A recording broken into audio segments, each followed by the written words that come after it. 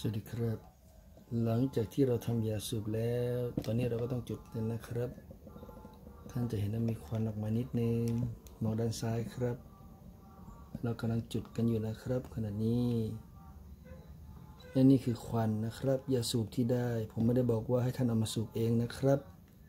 แต่ผมบอกว่าให้จุดไว้สำหรับดมเพื่อไล่โรคเขาเรียกอะไรนะฮะโรคเกี่ยวกับปอดนะครับ นี่คือยาสูบนะครับ จุด ท่านก็ทำที่ตั้งแล้วก็จุดแล้วก็ดมไปนะครับ ไม่ต้องหายใจตรงเข้าปอดนะครับ ปอดจะได้ไม่พังนะครับ วิธีการดมยาสูบวิธีการจุดยาสูบผมบอกแล้วนะครับ วิธีนี้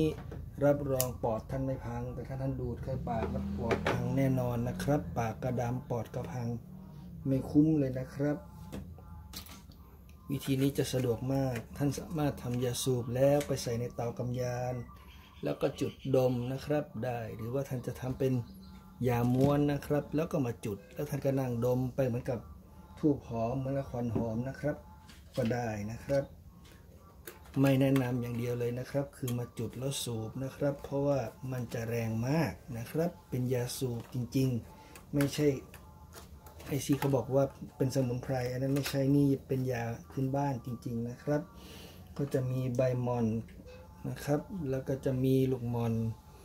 แล้วก็จะมี ใบไอที่ดอกสีม่วงๆเนาะดอกอัญชัน แล้วก็จะมีใบสะระแหน่หรือใบมิ้นท์นะครับ ผสมก็เรียกว่าดีเลยละครับ เด็ก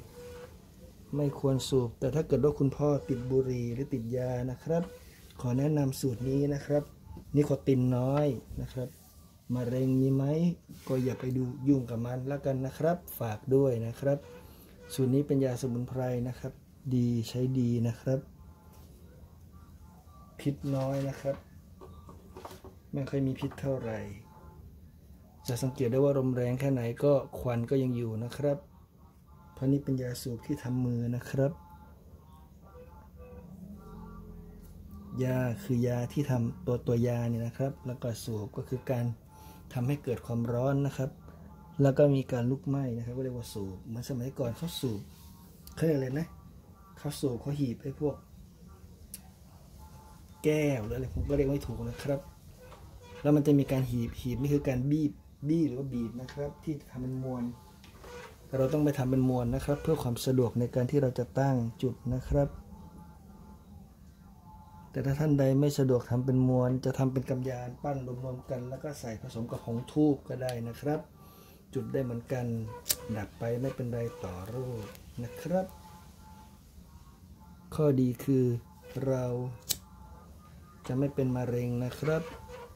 แล้วก็ดมควันไปอารมาอารมาดมกันเข้าไปมีความสุข จุดถวายจุดบูชาได้นะครับ